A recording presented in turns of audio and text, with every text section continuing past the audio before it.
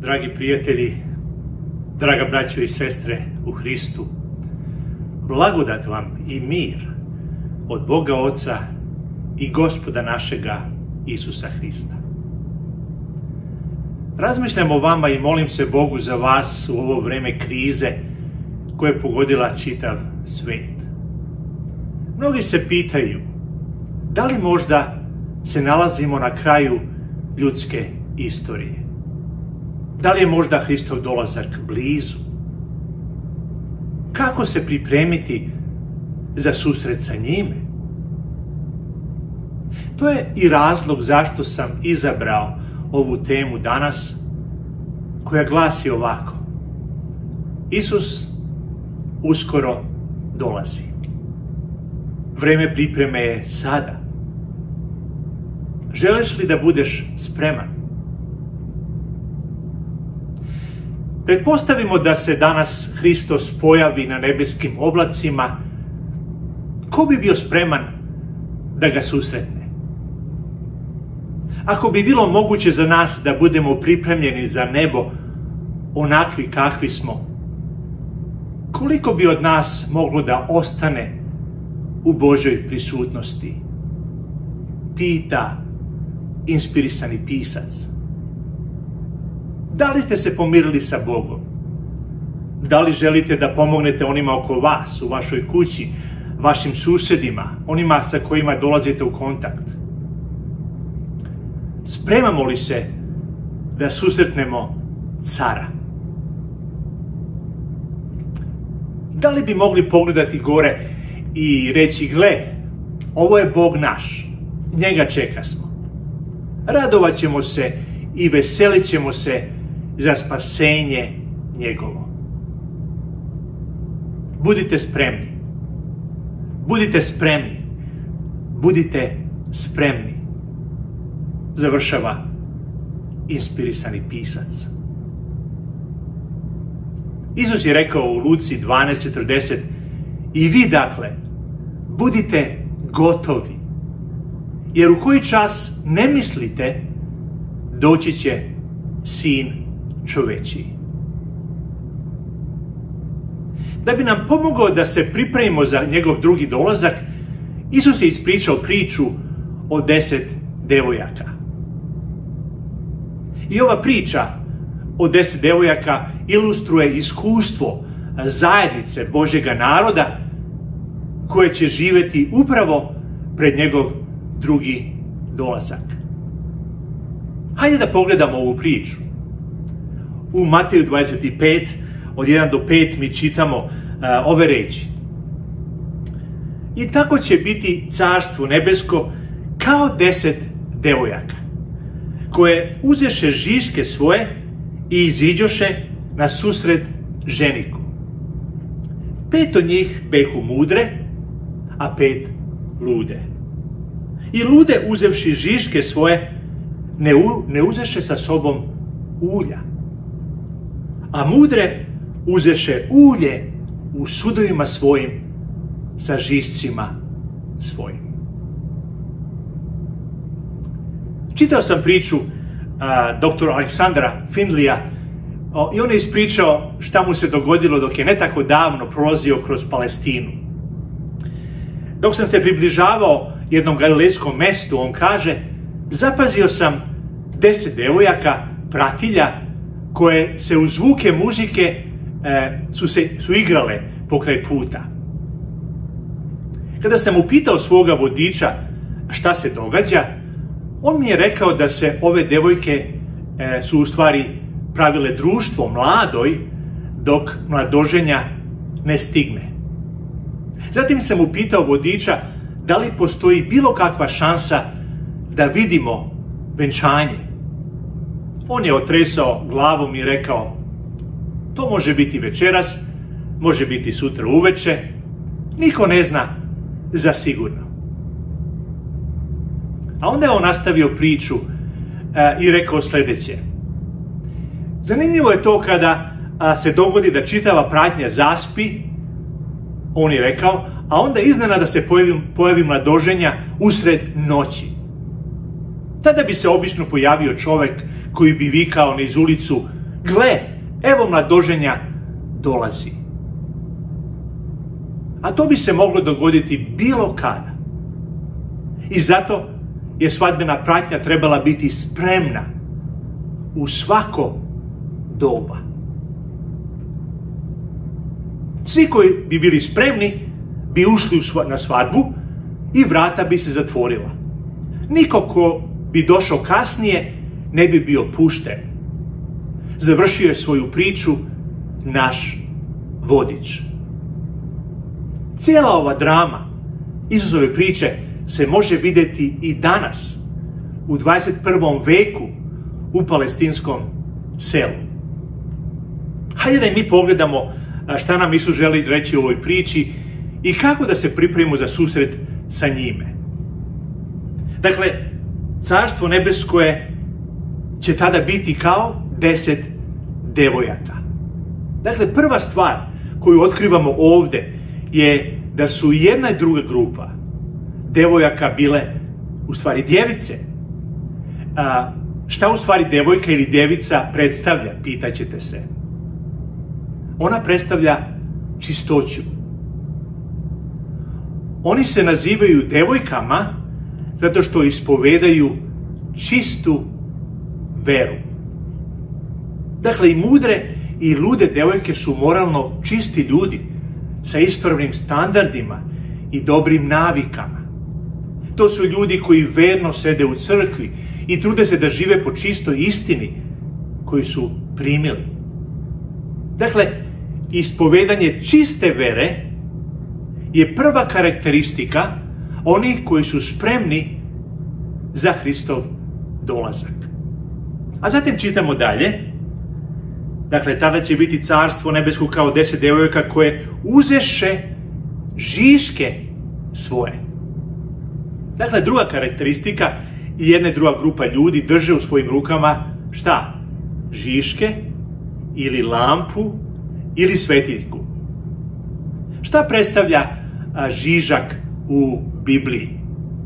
Vi se sećate u psalmu 119.105 kaže ovako Reč je tvoja žižak nozi mojoj i videlo stazi mojoj.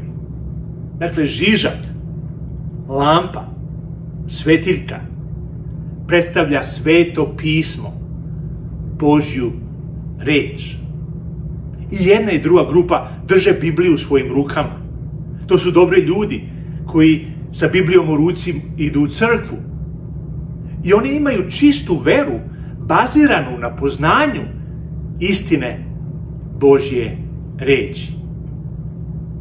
Dakle, u svakom slučaju, oni koji će biti spremni za susret sa Hristom, će ozbiljno proučavati i čvrsto se držati Biblije Božje reči. A mi ćemo onda dalje. Dakle, devojke uže se žiške svoje i iziđoše na susret ženiku. Dakle, treća karakteristika ljudi koji će biti spremni kada Isus bude došao, dakle, oni će izaći na susret Hristu. Dakle, jedna druga grupa čine istu stvar. Oni izlaze na susret ženiku. Dakle, ovdje se radi o iskrenim ljudima koji su ozbiljni u želji da dočekaju mladoženje. Oni su čekaoci drugog Hristovog dolaska. Apostol Pavle, opisujući kraj svoga života, e, kaže da je on trčao dobru bitku u svom životu, bitku vere. A onda u drugoj Timotiji 4.8 on kaže, dalje dakle, meni je pripravljen venac pravde koji će mi dati gospod u dan onaj, pravedni sudija, ali ne samo meni, nego svima koji se raduju njegovom dolasku. Treća karakteristika onih koji su spremni da dočekaju Hrista je da oni čekaju i raduju se Hristovom dolasku. A dalje mi nastavljamo priču A, a budući da ženik odocni, zadremaše sve i pospaše. Dakle, i jedna i druga grupa su zaspale. Dakle, ovo je sažetak ove priče do, do sada. Dakle, u ovoj priči svih deset devojaka polaze na susret ženiku. Sve imaju žiške i sudove za ulje. Jedno vreme među njima neće biti nikakve razlike.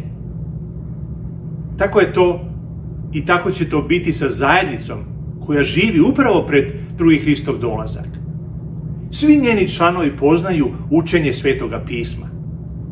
Svi su čuli za to da Hristos dolazi. I oni pouzdano očekuju da se on pojavi. Dakle, i jedna i druga grupa su u crkvi, nose i čitaju svoje Biblije, očekuju drugi Hristov dolazak, ali, kao što ovdje kaže, zajedno spavaju.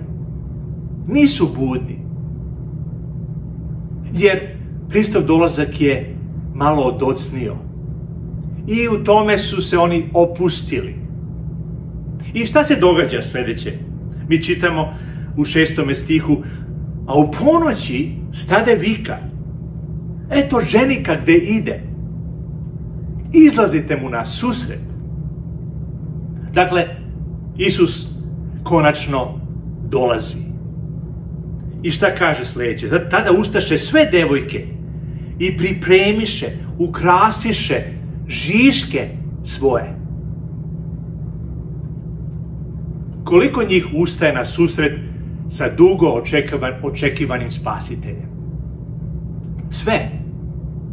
I mudre i lude čine istu stvar. Dakle, i jedna i druga grupa čisti i ukrašava svoje žiške. U duhovnom smislu šta to znači? Oni čiste svoje svetionike, svoje svetiljke, svoje lampe, jer žele da njihovi žišci bolje svetle. To znači da su one ozbiljne u želji da imaju bolje razumevanje istine i da budu svedoci i drugima. Ali, tada se nešto događa. Mi čitamo osmi stih. A lude rekoše mudrima, dajte nam od ulja svog, jer naši žišci hoće da se ugase. U posljednjem trenutku ova grupa ljudi konačno otkriva da njihovi žišci hoće da se ugase. Oni idu na susret ženiku i tada otkrivaju bolnu istinu. Njihove svetiljke se gase. Zašto? Jer one nemaju ulja u sudovima sa žišcima svojim. Što to znači, pitaćete se vi? Dakle, svetiljka je simbol Božje reči. A ulje je u Bibliji simbol svetoga duha. Ovim devojkama nedostaje duh sveti. Duh proštva kaže, bez Božjeg duha samo poznavanje njegove reči nije ni od kakve koristi. Dakle, samo teorija o istini, ako nije praćena silom svetoga duha, ne može oživeti dušu, ni posvetiti srce, kaže pisac. Dakle, istina koja nije praćena silom i prisutnošću svetoga duha ne može oživeti dušu čovjeka, niti posvetiti, promeniti njegovo srce. Pisac nastavlja, čovjek može dobro poznavati sve zapovesti Božje i sva obećanja u reći Božoj, ali ako Boži duh ne usadi istinu u srce, karakter neće biti promenjen. Dakle, ovo je veoma ključno. Ako sve drugo zaboravimo, sada dolazi trenutak važnih istina koje će nam pomoći da razumemo zašto ova jedna grupa vernih sledbenika koji drže u svojim rukama Bibliju, koji čekaju Hristov dolazak, koji se drže čiste nauke, nisu spremne da dočekaju Hrista na oblacima. Dakle, zapazite još jedan put. One nemaju silu duha svetoga, to jest nemaju ulje koje predstavlja duha svetoga. I samo duh sveti može oživeti nas i preporoditi i posvetiti naše srce. Jedino duh Boži može usaditi istinu u srce koje donosi plod. A taj plod je karakter koji je sličan Hristu. I zato apostol Pavle kaže, mi svi koji otkrivenim licem gledamo slavu gospodnju u Isusu Hristu, bivamo preobraženi u to isto obličje, u taj isti karakter od gospodnjega duha. Znači, dok mi gledamo, dok proučavamo, dok razmišljamo o Božoj istini, o, o Hristovom životu i njegovom karakteru, Duh Sveti nas menja iznutra i on nas priprema za susret sa Hristom. Duh proštva dalje kaže, oni koji su u paraboli prikazani kao lude devojke nisu licemeri. Oni cene istinu, oni je brane, ali oni se nisu, sad je ključna reč, oni se nisu podčinili, predali, pokorili delovanju svetoga duha. Dakle, ovo je ključan element. Dakle, dok Sveti Duh radi u životima svih ljudi, dok Božja ljubav privlači ljude, na čovjeku je da se ne odupire, da, da se preda, da se počini tom delovanju i Duh Sveti će završiti svoj posao u nama, ako mu mi dozvolimo. I on će nas dovesti do ključnog iskustva koje je nama potrebno. A pisac ovako kaže. Oni se nisu počinili delovanju Svetoga Duha, oni nisu pali na stenu, na Hrista Isusa. I nisu dozvolili da se razbije njihova stara priroda. Kako je to važno da razumemo? Dozvoliti da Duh Sveti nas vodi. inspirisani pisac također kaže, ako se mi ne odupiremo, Božja ljubav će nas privući Hristu. I u podnožju krsta, dok gledamo šta je on učinio za nas, mi ćemo iskusiti pokajanje i promenu koju samo Duh Sveti može proizvesti u našemu životu. I zato nemojte se odupirati. Predajte se, počinite se delovanju Duha Svetoga, jer On želi izvesti u nama promenu, radikalnu promenu, koja se također naziva i novorođenje i novo stvaranje.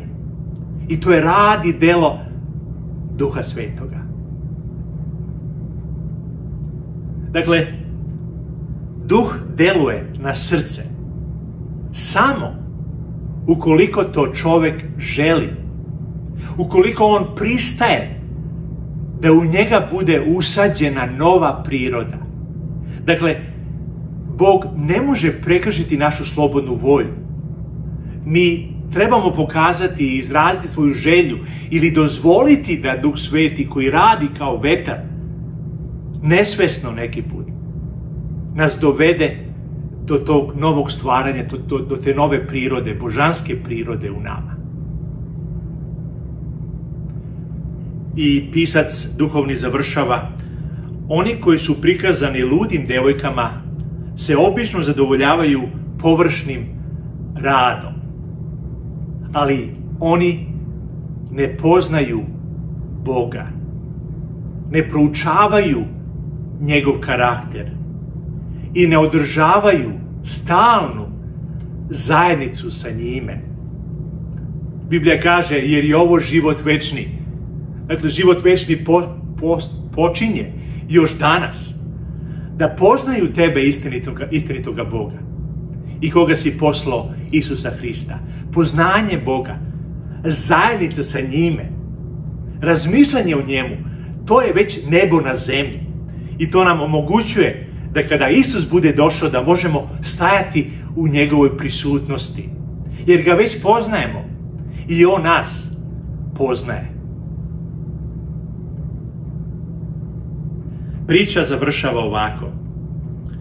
A kad one otidoše da kupe e, ulje, pošto nisu imali, dođe ženik i gotove uđoše sa njim na svadbu i zatvoriše se vrata. A posle dođoše i one druge devojke govoreći gospodaru, gospodaru, otvori nam. A on odgovarajući reče im, zaista vam kažem, ne poznajem vas. Najžalostnije reči koje su ikada doprole do uha smrtnika, bit će reći, ne poznajem vas.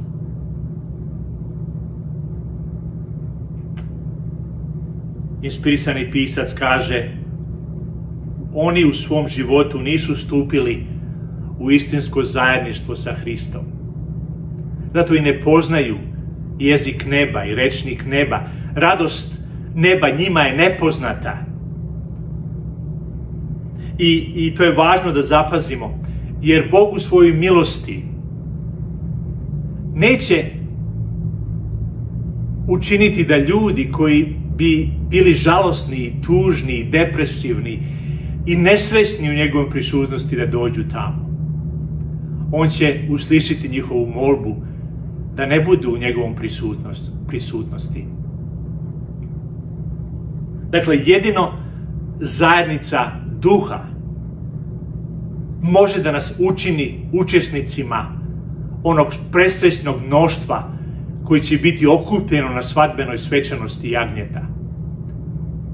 Dakle, jedino duh sveti a, koji donosi tu radost, koji izliva u naša srca ljubav Božju, nas može pripremiti za radost i, i ljubav koja će, se, koja će se doživeti i iskusiti u Božoj prisutnosti. Posljednja misao, jedina razlika između mudrih i ludih devojaka je ovo. Mudre imaju živog Hrista u svom životu. Koliko važna činjenica. Razmišljamo šta je to ulje, to je duh sveti, ali kad duh sveti dođe u naš život, on donosi samoga Hrista i njegovu prisutnost i njegov karakter i njegovu pravdu. A to je ono što nam je potrebno za susret sa njime. Biblija kaže ko ima sina Božjega, ima život. I sin Božji u nama, Duh Sveti u nama koji donosi prisustvo Hrista će nam omogućiti da možemo stajati u Božjem prisustvu, u Hristovom prisustvu kada On bude došao u slavi. Inspirisani pisac završava za mudre devojke. Hristos je bio svakodnevni drug i dobro poznati prijatelj. Oni su živjeli u stalnoj zajednici sa njime. A nebo će jednostavno biti to isto, samo malo više od toga. Dakle, nebo je ono što mi možemo doživjeti delimično već ovdje. Nebo je zajednica sa Hristom, život u njegovom prisustvu, druženje sa njime, prijateljstvo sa njime. Isus završava priču ovim rečima. Stražite dakle. Budite gotovi. Jer ne znate dan i čas u koji će sin čoveči doći. Robbie Robbins bio je pilot ratnog vazduhoplovstva tokom prvog rata u Iraku. Iznenada je dobio dozvolu da može odmah da sa svojim avionom se vrati nazad kući. I tako je on vozio cijelu noć i kada je ujutru stigao pred svoju kuću, ugledao je preko cijele garaže veliki transparent. Dobro došao kući tata. Robins kaže, kada sam ušao u kuću, deca odevena za školu su povikali tata. A Suzana, njegova supruga, je dotrčala niz hodnik, izgledala je sjajno. Uredna kosa, šminka, sjajna žuta haljina. Kako ste znali? Pitao sam. Kako ste znali da ja dolazim? Nismo znali, odgovorila je kroz suze radosnice. Ali jednom kada smo čuli da je rat gotov, znali smo da ćeš jednoga dana biti kod kuće. I znali smo da ćeš nas pokušati iznenaditi. Pa smo bili spremni svaki dan. Isus i nama danas kaže stražite, budite gotovi, budite spremni, jer ne znate dan ni čas u koji će sin čoveči doći. Isus uskoro dolazi. A mnogi znaci nam to govore. Vreme za pripremu je sada. Želiš li da budeš spreman kada on bude došao? Vrata su još uvijek otvorena. Mi još uvijek možemo postati deo mudrih. Na pitanje zašto gospod tako dugo odlaže svoj dolazak, duh proštva kaže da nebeska vojska čeka da ispuni posljednji zadatak za ovaj izgubljeni svet. To je zato što oni koji govore da imaju ulje blagodati još uvijek nisu postali svetlost koja sija svetu. Isus još uvijek ne dolazi i odlaže svoj dolazak zbog toga što oni koji kažu i govore da imaju ulje blagodati još uvijek nisu postali svetlost koja sija čitavom svetu. A vi znate posljednji znak koji će obznaniti vreme da je kraj, blizu je Božja slava. Će se objaviti čitavom svetu. Svi ljudi na ovoj zemlji će vidjeti i prepoznati kakav je Bog. I to kroz svedočanstvo i kroz život i kroz reč. Onih koji nose ulje Božje blagodati, to jest koji su ispunjeni duhom Božjim. Kaštenje ima posebnu svrhu za nas. Bog želi dati svom narodu vreme da stekne, da se ispuni duhom svetim.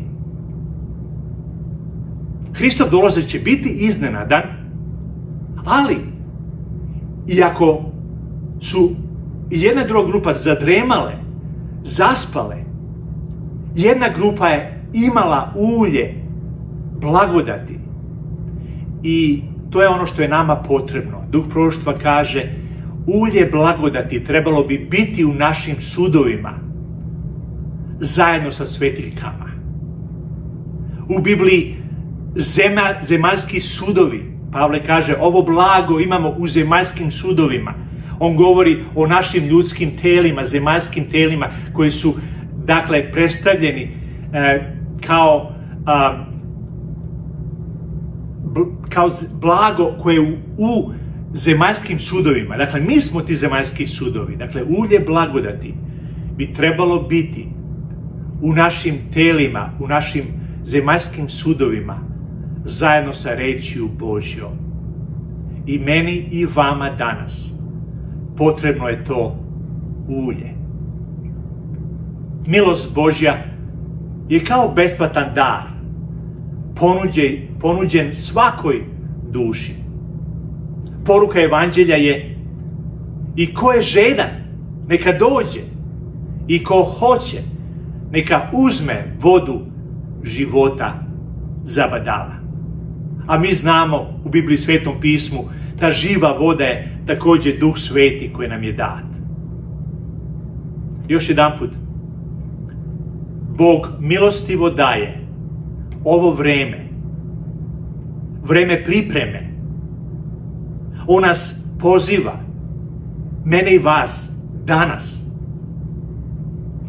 Tražite gospoda dok se može naći. Prizivajte ga dokle je blizu. Amin.